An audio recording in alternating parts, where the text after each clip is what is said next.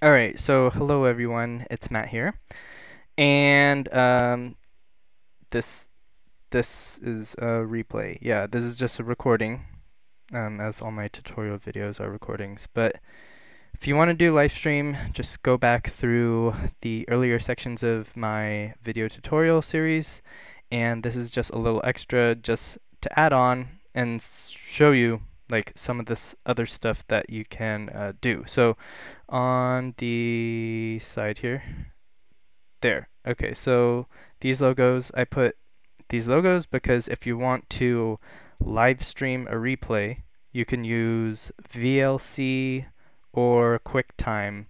Um, I would think VLC is more stable just to be safe, just so everything's successful.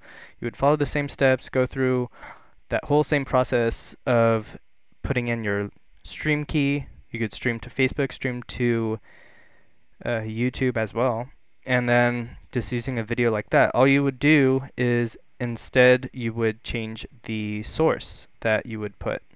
Um, so I'm doing this a little bit different because uh, in my other tutorial videos I was showing you the whole screen recording.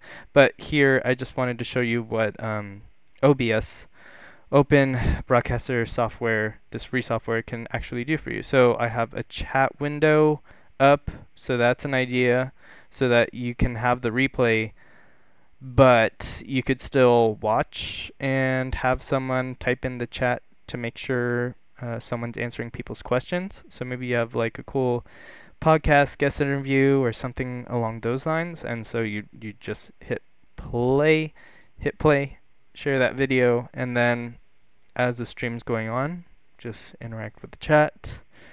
Let the chat see that they're on video too, which would be pretty pretty darn cool, pretty awesome. So you would probably have to set that up after, unless you do like YouTube or something. Um, there's ways to go about it. It's actually not too bad. You could find out on the internet, and I could uh, I could type for you the answers. So feel free to ask any questions. This is just super short, super quick, just a little extra so that you have a few more ideas about how to actually use this now that you went through all the hassle of trying to learn how to how to set up this whole thing. So all right, that's cool. You have any questions, let me know. All right, adios.